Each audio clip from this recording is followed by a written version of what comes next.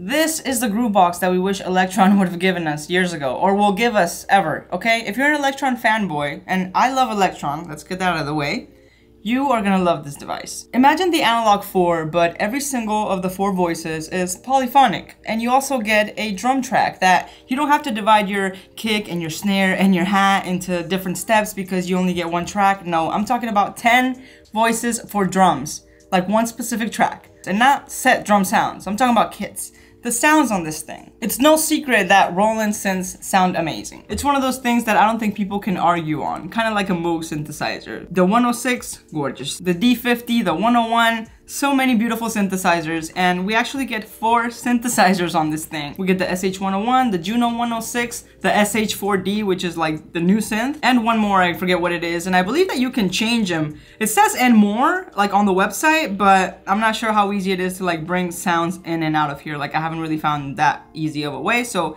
maybe it's not advertised well enough which happens a lot with this stuff. But this isn't a how-to video. There's plenty of those out there already. I might make one of my own. You guys do know I make tutorials but but I'm here to talk about why you might want this device. So it's a groove box, four voices, five including the drums. We have these four sliders that affect the oscillators but can also control our volumes for our four tracks and then the fifth one is this knob over here.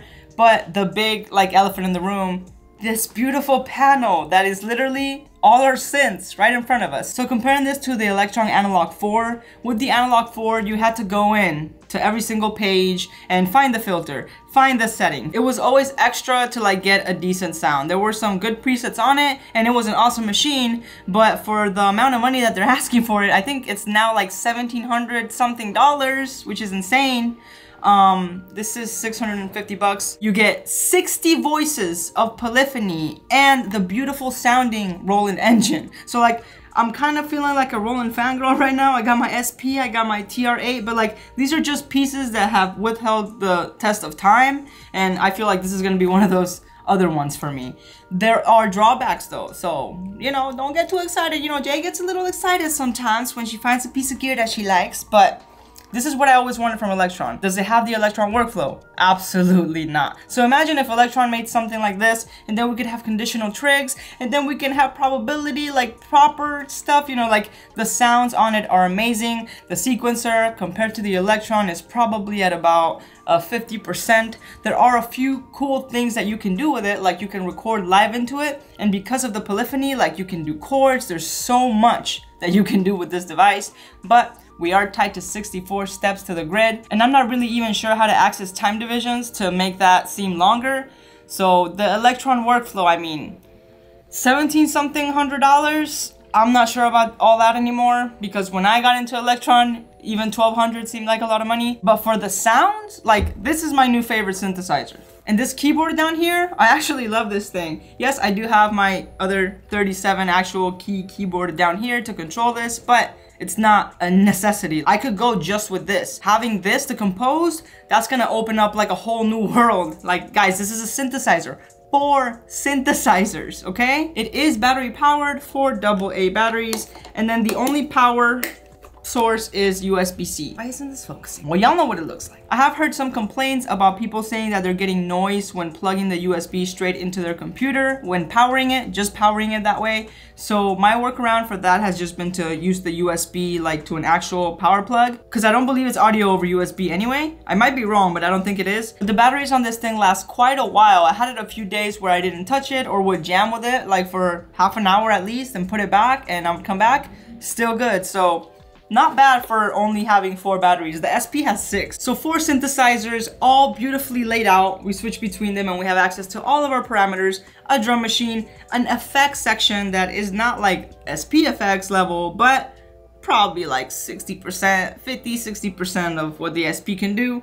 You can get on here. I've even been able to replicate the DJ effects like on here. So possible. Tedious, but possible. Those are also my thoughts on the built-in drum machine. That's why I have my TR8 over here. Like, yes, it's cool to have the built-in drum machine in here, but I can't switch between drum patterns. So like, a future update that I would love to see on this thing would be to have different drum like scenes, kind of how they have on the TR6S and 8S. So I can have like one type of drum pattern going on over here with my melodies and then switch just the drums and like, you know, get a whole different vibe and have my melody the same. That's not really possible with this. I can easily do that with my TR-8 because all I have to do is press switch pattern and I can jump around all my patterns. So I would like to see that on here. I feel like that makes the drum machine kind of, you know, not that 100% useful. Also something that this is lacking that would take the workflow to level 9000 would be what is it lacking? I forgot already. To have a performance effects mode. I don't know if you ever messed with a WMD Metron sequencer, but that thing is like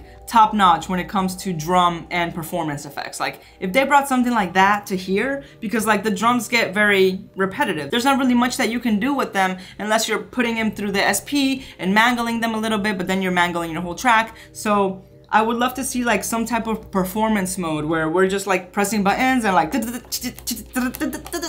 that, you know, like that would be dope. So performance, like a 40%.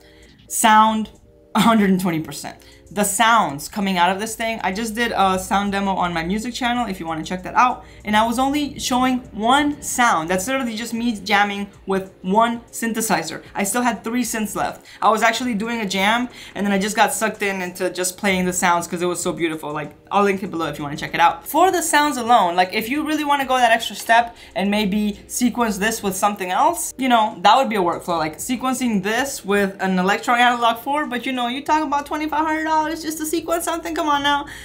It depends, like, if you already have the gear, I guess, you know, but that sounds like very extra, extra. Even this workflow right now that I have going on, like, I was messing with this for the last couple of hours. And my thing is always I want to have less, so I'm just like, ah, do I need this keyboard here? I don't need it, but yes, it makes it easier to compose. If I were to perform, I don't need the keyboard. That's the cool thing, that, like, I can compose this way, have everything loaded into here, build my projects, build my sets, and then just take this. But I do want to process it, so I'm gonna need my SP. I also want to start incorporating my modular that's looking all sad over there. And I love my Varigate 4 Plus sequencer to give me those like non-linear sequences and I can have that running while I'm doing like 64 bar long piano or pads on here. That's gonna be a dope workflow. I'm still trying to figure out the audio situation because right now I have everything going into the TR-8 and then out of the TR-8 into the SP. What that is doing is it's allowing me to use the sidechain on the TR-8, which is a lot of fun. So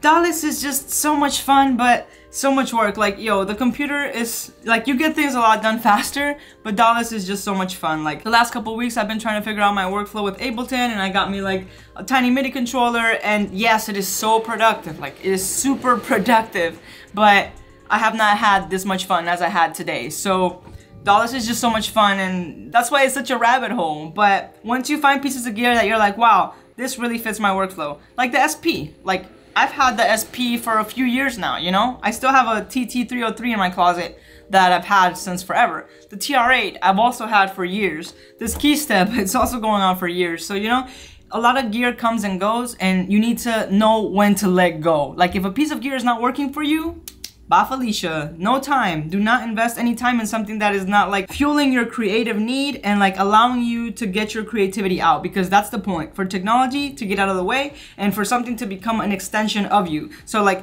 my goal is to be able to be like boom, boom, boom, boom, boom, like not even thinking of what I'm doing. And that's kind of how I get with the SP sometimes that I can just like, I already know what a button's gonna do before I press it. So like I already know the kind of sound that I'm trying to get out of. Jesus.